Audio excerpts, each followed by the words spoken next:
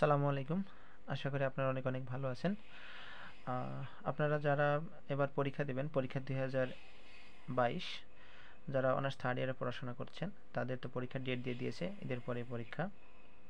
তো আপনারা পরীক্ষা দুই হাজার বিশ সালের প্রশ্নগুলো যেহেতু আপনাদের জন্য খুবই গুরুত্বপূর্ণ, সেজন্য আপনারা অনেকেই ফোন করে বা কমেন্টে বলছিলেন যে পরীক্ষা দুই হাজার বিশ সালের প্রশ্নগুলো সমাধান করে দিতে। তো প্রতীকী যুক্তিবিদে পরীক্ষা দুই হাজার বিশ সালে সংক্ষিপ্ত সত্য সারণীর একটি প্রশ্ন চলে আসছিল এবং এর প্রশ্নটি মানে সংক্ষিপ্ত সত্য সারণীর নিয়মটি প্রতি বছরই একটা করে প্রশ্ন থাকতেছে। তো যেহেতু গুরুত্বপূর্ণ নিয়ম হয়, আমি এই প্রশ্নটি সমাধান করে দিচ্ছি। তো যদি কপাল খুব ভালো হয়, তাহলে কমন চলে আসবে। তো সংক্ষিপ্ত সত্য সারণীর প্রশ্ন সমাধানের যে নিয়মটি, কৌশলটি, সেটি হলো এরকম একটি লজিক দেওয়া থাকবে, যে লজিকটুকু আপনাদের আবার ঠিক একইভাবে সাজাতে হবে। বেশি বেশি করে স্পেস দিয়ে সাজাতে হবে। অর্থাৎ এই প্রশ্নটি negation P implies Q dot R এভাবে লিখতে হবে এবং আরও স্পেস দিয়ে পরবর্তী দ্বিতীয় আশ্রয় বাক্য Q dot R implies negation S এবং এরকম একটি দাগ দিয়ে নিচে লিখতে হবে সিদ্ধান্ত এস ইমপ্লাইজ নেগেশন পি এইভাবে লিখার পর এখন সংক্ষিপ্ত সত্য সারণী। এই সংক্ষিপ্ত সত্য সারণী কৌশলের নিয়ম অনুসারে আমাদের এই সিদ্ধান্তটিকে প্রমাণ করতে হবে মিথ্যা এবং এই আশ্রয় বাক্যের মানগুলো প্রমাণ করার চেষ্টা করতে হবে সত্য। তো সেই নিয়ম অনুসারে, সত্য সারণীর সূত্র অনুসারে যদি এই ইমপ্লাসকে মিথ্যা করতে হয়, তাহলে পূর্বকের মান ধরতে হয় সত্য। আর এখানে নেগেশন পি আছে যেহেতু, তাহলে অনুগের মান হতে হবে এফ অর্থাৎ আমরা এই পি এর মান ধরব টি এবং নেগেশনের মান হয়ে যাবে এফ তাহলে এই যে পূর্বক সত্য, অনুগ মিথ্যা, এই দুইটা ক্যালকুলেশন করে এটা আমরা পাইলাম হলো এফ অর্থাৎ সিদ্ধান্তের মান আমরা এফ প্রমাণ করতে পারলাম।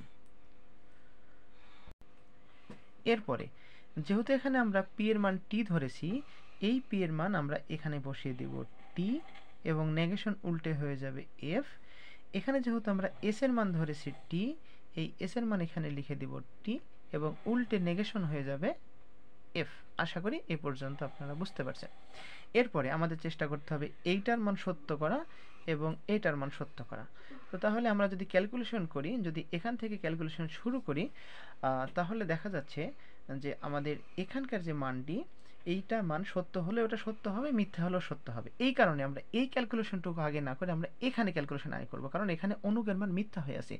এখানে যে কোনোভাবে আমাদের মিথ্যা করতে হবে। এটা মিথ্যা না করে যদি আমাদের সত্য প্রমাণ হয়ে যায়, তাহলে কিন্তু সিদ্ধান্ত হয়ে যাবে মিথ্যা। তো আমাদের টার্গেট হলো এটার আশ্রয় বাক্য সত্য করার জন্য। তো এখন আমরা যে কাজটি করব, এটার যে কোনো একটি মান আমরা এফ ধরে নিব এবং এটার একটি মান আমরা টি ধরবো। তাহলে এফ আর টি ডটের ক্ষেত্রে এটা হয় এফ আপনারা যারা সত্য সানি সূত্র জানেন, তারা এগুলো শর্টকাটে বুঝতে পারবেন। তাহলে কি হলো?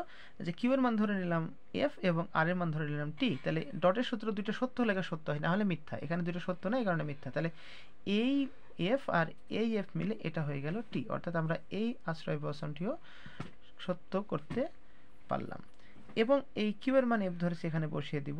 এখানে আর এর মান টি ধরেছে এখানে বসিয়ে দিব। তাহলে এই এফ আর এই টি ক্যালকুলেশন করলে এখানে হয় এফ তাহলে এই এফ আর এই এফ মিলে এটাও হয় টি অর্থাৎ এটাও হয়ে গেল তাহলে আমরা দেখা যাচ্ছে সিদ্ধান্ত মিথ্যা হয়ে আশ্রয়বাগ দুটাই সত্য হলো। তাহলে প্রশ্নটি ছিল সংক্ষিপ্ত সত্যসারী কৌশল ব্যবহার করে নিচের যুক্তিটির বৈধতা বা অবৈধতার প্রমাণ করো। তাহলে যেহেতু এখানে সিদ্ধান্ত মিথ্যা হয়ে সকল আশ্রয়বাগ সত্য হয়েছে, অর্থাৎ আমরা বলতে পারি যুক্তিটি অবৈধ। ঠিক এইভাবে আমাদের সংক্ষিপ্ত সত্য সারণী সমাধান করতে হয়। আপনারা যদি অনলাইনে আমার শর্ট কোর্সটি বা প্রতীকী যুক্তিবিদ্যার অনলাইনের পুরো কোর্সটি করতে চান, তাহলে আমার ডিসক্রিপশনে বা পিন কমেন্টে আমার ফেসবুক আইডি এবং ফোন নাম্বার দেওয়া থাকবে। আপনারা ওখানে যোগাযোগ করে আপনারা ভর্তি হয়ে ক্লাসগুলো করতে পারেন। আর যাদের সামনে পরীক্ষা, তারা ভালো করে পড়াশোনা করেন। যে কোনো সাজেশন বা যে কোনো পরামর্শের জন্য ফোন দিবেন এস এম এস করবেন আমার ফেসবুক আইডিতে তো। সকলে ভালো থাকবেন। আমি এখানে একবার আমার ফেসবুক আইডি এবং ফোন নাম্বারটি দেখিয়ে দিচ্ছি। এটা হচ্ছে আমার ফোন নাম্বার এবং এখানে হচ্ছে যে Facebook ID R T R dot MD dot Zahidul Islam. এইখানেও আপনারা এসে আমাকে ফলো দিয়ে এস করতে পারেন, দিয়ে কথা বলতে পারেন। যদি ফোন নাম্বারে ফোন দিতে চান, সেটাও করতে পারেন। যদি ফোন নাম্বারে না পান, তাহলে এটাতে যোগাযোগ করবেন। তো ঠিক আছে, আজকে পর্যন্তই। ভালো থাকবেন সবাই। আসসালামু আলাইকুম।